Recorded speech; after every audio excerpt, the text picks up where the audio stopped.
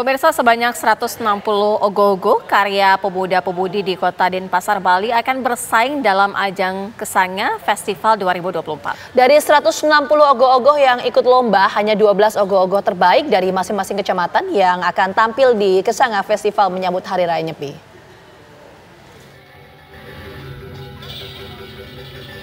Sebanyak 160 ogoh-ogoh karya dari kelompok teruna-teruni atau pemuda-pemudi di kota Denpasar, Bali berebut posisi dalam Kesanga Festival menyambut Hari Raya Nyepi.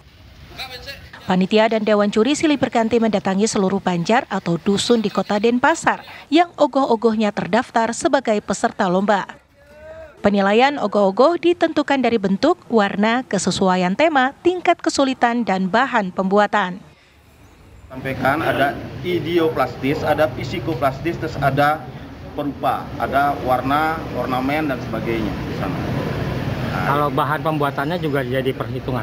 Nah itu di di di, di psikoplastis, di fisiknya itu bahan pembuatnya dari sangat sangat diperhitungkan semuanya. Persentasenya ada dalam perform penilaian.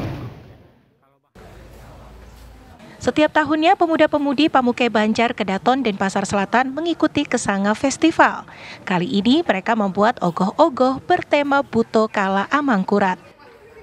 Kita mengangkat uh, gini, Buto Kala Amangkurat.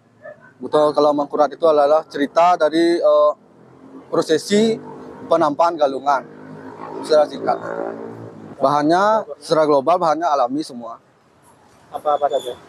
Uh, dari ulatan, bambu, bambu, uh, kertas, dan lem itu aja sih. Untuk proses pembuatannya kita start dari akhir Desember sama kira-kira dana yang sudah habis sampai hari ini kira-kira 30-an.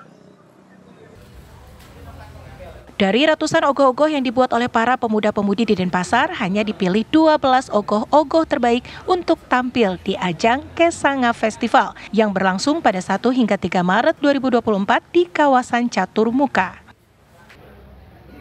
Dari Denpasar, Bali, Aris Wiyanto, TV One mengabarkan.